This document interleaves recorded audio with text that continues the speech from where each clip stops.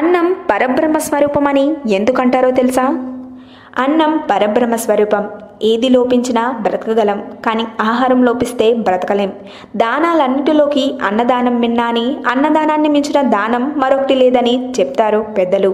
ఎందుకంటే ఏది దానంగా ఇచ్చినా ఎంత ఇచ్చినా కూడా ఇంకా ఇంకా కావాలనిపిస్తుంది. కానీ అన్నదానంలో మాత్రం దానం తీసుకున్నవారు ఇంకా చాలు అని చెప్పి సంతృప్తిగా లేస్తారు.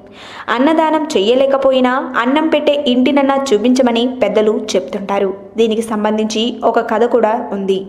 మహాభారత యుద్ధంలో కర్ణుడు మరణించిన తర్వాత స్వర్గానికి వెళ్ళాడు. అక్కడ కర్ణునికి అన్ని సౌకర్యాలు లభించాయి. స్వాగత సత్కారాలు లభించాయి. ఏది కావాలంటే అది పొందే అవకాశం ఉంది.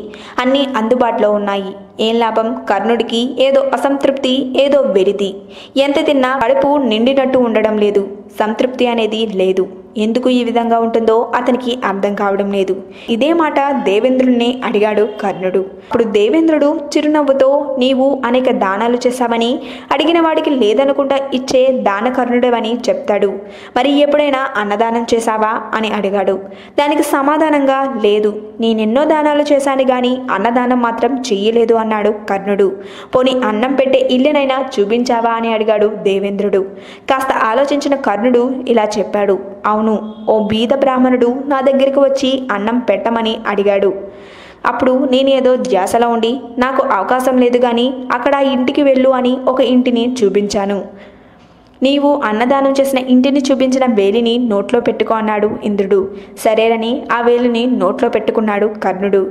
ఒక గుటక వేశాడు. ఆ క్షణంలోనే అతని కడుపు నిండిపోయింది. అంతవరకున్న అసంతృప్తి మటుమాయమైపోయింది. ఎనలేని తృప్తి కలిగింది.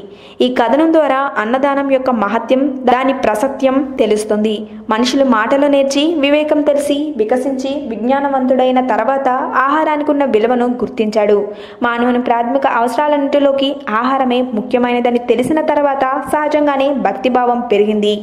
ఆహార ఉపహారాల ఇష్టత లేని వానికి సుఖపేక్ష ఉండదు.